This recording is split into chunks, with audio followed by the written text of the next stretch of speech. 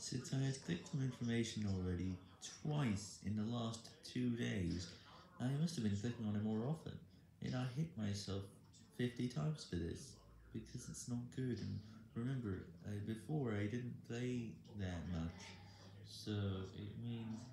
twice suddenly in the last 7 days, or 2 days, well that's a spike, don't you notice?